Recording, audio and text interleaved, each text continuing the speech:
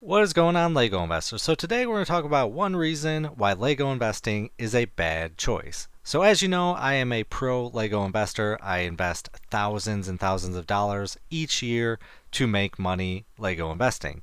But ultimately, it can end up being very bad. In a lot of my videos, I often refer to LEGO investing as gambling. And why is that? Because you never know where the market is going to go. You could end up spending thousands of dollars each year and end up losing thousands of dollars. You never know what's going to happen. There's so many different events that could happen that could affect your investment. And typically, all YouTubers are just promoting Lego investing, myself included. So, ever so often, I'm going to try and make videos to kind of give the opposite side. Despite whether I believe it or not, I do want to make people aware that Lego investing is risky and you can lose a ton of money. So first off, I would love if you comment your thoughts and opinions on maybe the risks involved with Lego investing and maybe if you've gotten burned on some situations or sets, I would love to hear it. The community would love to hear it. And I appreciate everyone that comments and likes the video. It definitely helps the algorithm. So with Lego investing, you typically buy a set before it officially retires, and then the next year, typically year two to three, you start selling your sets for profit. But the thing with that is, Lego does not care about the secondary market, the Lego investors, because they want that money that we are getting. So, what does that mean? They often recreate sets reproduce them over and over again to help steal money away from us. And not that it's stealing money, it's just they see a market available to them. They see the secondary market where these retired sets are doing absolutely amazing. They want to get some of that. Now, my personal opinion is that the more they hit the secondary market and really affect investors because they, they do not like investors. I think it hurts them in the long run because we keep the secondary market alive. We, we it's almost like promoting Lego, and it just we, every Lego feeds off that energy, and it just helps everyone overall. So the more they hit, hit investors, it really hurts them in the long run.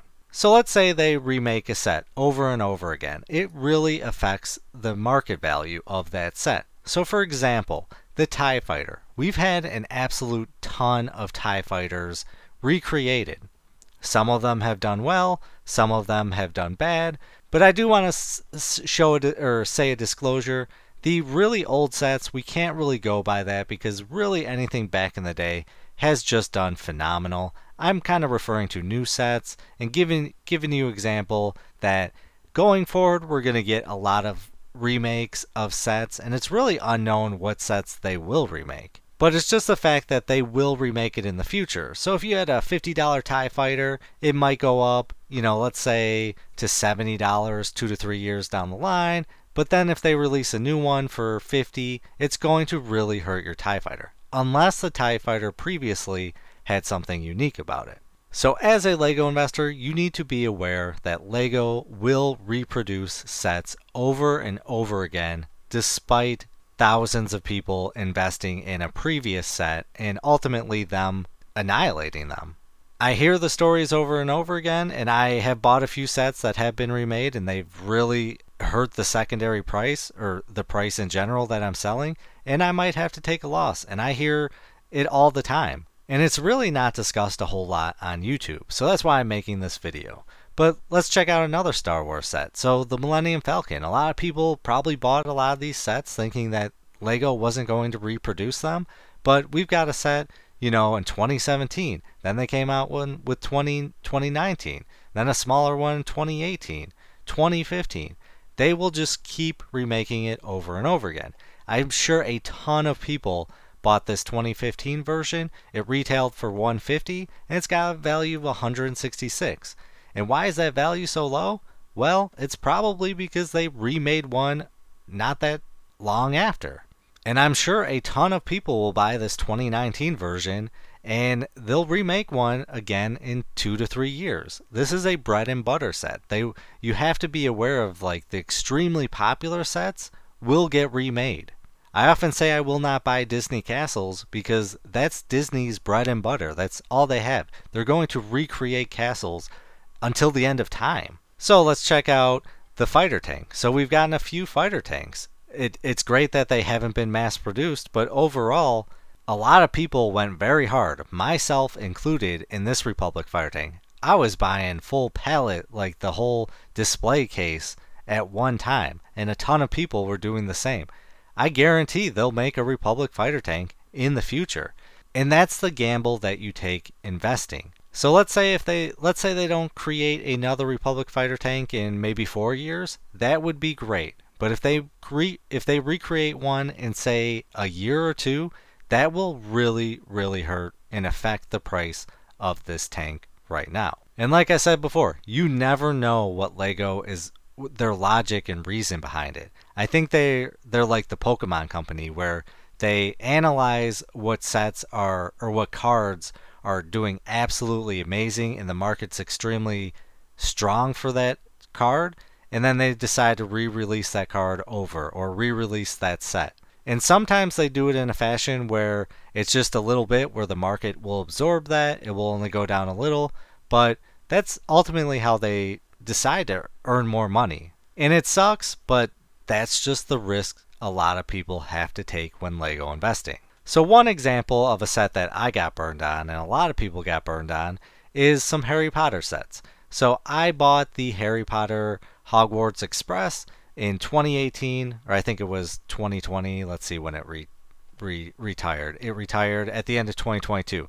So if you remember, this was available at Walmart for $40. An absolutely insane price. For a train, trains do really, really well in when investing. So I bought a bunch of these, a ton of people bought a bunch of these, and sadly, it ended up being a very terrible investment. And why is that? Well, it's simply for the fact that they came out with another train the year after. And the logic is just really, really bad. And it's it's unknown why. I, I just I don't get it. But in 2023, they came out with the Hogwarts Express and Hogs, Hogsmeade Station, and it retails for $129. They're really similar, but ultimately, I think Lego hurt themselves by doing this. But Lego can afford to take those hits. They'll take that risk. And the logic, I if anyone knows why they re-release a set the year after, is it something with licensing or what? It just seems like they hurt themselves, but it also hurts the secondary market. So I bought the previous Hog- Hogwarts Express for $40 at Walmart on Black Friday. I bought a bunch of them. And sadly, that set has just been absolutely terrible. I, I really have not been able to give this set away. I think I've had it listed for $45 and I have been getting no nibbles on them at all. Now, yes, the market is getting worse, but really it's a phenomenal set for $45 and I, I literally cannot sell it. So let's take a look at how it's doing on eBay right now. So if we look here, it's selling for $80 plus free shipping. So when it's all said and done after fees, you're probably walking away with what, like 60 to 65 around that range. Here, less than 60, $80 again, 61 here with free shipping, 59. So really, Lego re-releasing this set hurt you if you bought this set. And believe me, this set was the first to go on Black Friday. I I really it's sad and these are the risks involved when you're investing because Lego got greedy and maybe again I don't know the reason why but they them releasing a set immediately after just annihilated this price. And it, and it's sad. If you look it's selling for less than retail. The retail price is $79.99 so I've got hundreds of dollars just sitting there and sadly just really can't move it. With time I'm sure this will maybe go up in price to maybe 60 maybe max 70, but I doubt we're going to get above retail because I bet they're going to make another tank and probably or another not another tank, another uh, Hogwarts Express in another year or two. Why? Because that's a bread and butter set of Harry Potter. They're going to remake that over and over again because people love that scene and they love the train. So, as a new investor, you need to be aware that you could end up losing a ton of money. And there's no guarantees in life with anything. You don't know what set they're going to re release the following year. And sadly, a lot of people, I myself included, are probably, we might get burned on the helmet line. It's always risky when you're buying a set that is new and first out the gate because it's just a matter of time before that set gets re-released again. And I've got probably what like 20 over $24,000 worth of helmets. If they re-release one of those helmets, so let let's say the Dark Trooper helmet, I've got over a hundred of those. So we'll say just seven grand as a as an example. If they re released a new Dark Trooper helmet, and let's say it was a, a little bit better, that would just destroy my profits. I would have to I would have to sell that for a loss. And that's why Lego investing it is ultimately a bad investment. And that's why I only encourage it if you can do it if if you can afford to take the hit if those situations happen. So I appreciate you watching this video and yeah, I'm to make probably more i'm gonna at least try and make one of these type of videos of why lego investing is bad just because youtubers are not doing it and i just want i just want everyone to be aware of the risks involved and what could happen you could end up lo- losing thousands sadly i have lost probably over at least a thousand dollars by now and sadly it's just it comes with the territory and i think as time goes on it's going to force a lot of people out of this market. So I appreciate you watching. Please comment down below. But as always, please do your own research, have some fun, make some money. Video is not financial advice. Any statements made are my views and is for entertainment purposes only and should not be taken as financial advice.